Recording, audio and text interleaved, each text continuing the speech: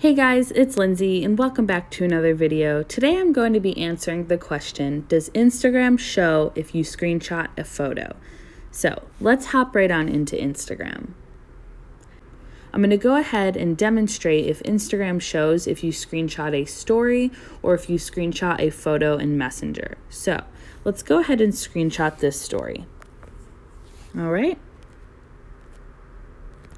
Then I'm going to go to that profile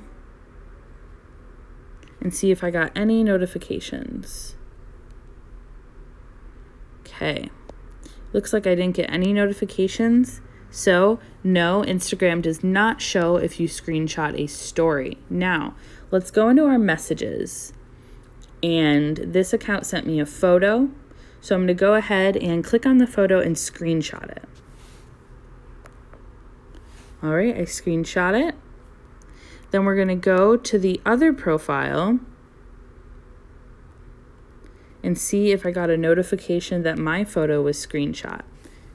Yes, so if you see in the bottom right hand corner that little wind wheel thing, that is a screenshot notification. And as you can see in the preview, I also saw that it was screenshot. So for stories, no, they cannot see that you screenshot the story, but for disappearing photos and videos in Messenger, they can see, and Instagram will notify people that you screenshot it. I hope this video was helpful for you. If it was, please like and subscribe to this channel. If you have any questions about this tutorial, please leave them in the comment section below. Thanks so much for watching. Bye guys!